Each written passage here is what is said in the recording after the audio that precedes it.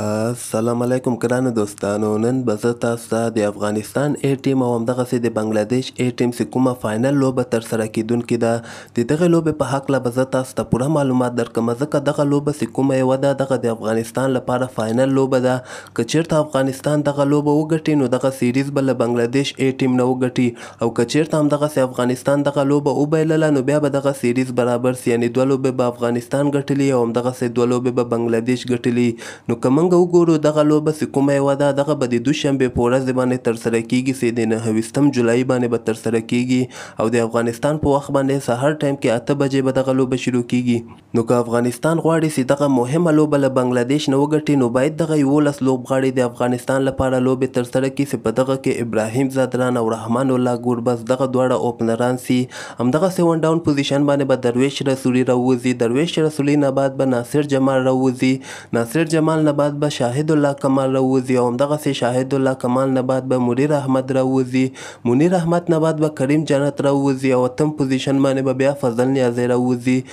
همدغسې نهم پوزیشن باندې به بیا شرف الدین اشرف راووځي، لسم پوزیشن باندې به قیس احمد سي او یوولسم پوزیشن باندې به نوین الحق سي. نوین الحق سي هغه تېره لوبه کې د بنګله دېش پنځه لوبغاړي اوټ کړي ول یعنې ښه فورم کې ده نو باید ده ته په دغه فاینل لوبه کې هم حتماً چانس ورکړي. نو دغه سکواډ که موږ وګورو شرف الدین اشرف پورې داسې لوبغاړي دي چې بېټنګ کولی شي یعنې حتی قیس احمد هم بېټنګ ترسره کولی شي نو تقریبا لس بېټسمېنان به افغانستان سره شي او بالران که موږ وګورو نوین الحق قیس احمد شرف الدین اشرف فضل نیازی او کریم جنت دغه پنځه به د افغانستان لپاره بالران شي همدغسې بیا شاهد الله کمال هم دوه درې اوره ترسره کولی شي نو دغه یو بهترینه سکواډ ده نو تاسو دعا کوئ چې سبا ته افغانستان ټاس وګټي او بنګلادیش ته د بېټنګ بلنه ورکړي ځکه دغه لوبه ډیره وخته شروع کیږی هغه وخت کی وریځه یی نو دغه پیچ سی کوم ده هغه بالرانو ته جوړی نو هغه وله کی دغه بال ډیر زیات سوینګیږی نو همدغسی دی افغانستان کولی سی که چیرته اول ټاس وګټی او بنګله دیش ته دی بیټنګ بلنه ورکی نو بنګله دیش دوه سوه کی دننه دننه دوی اوټولی سی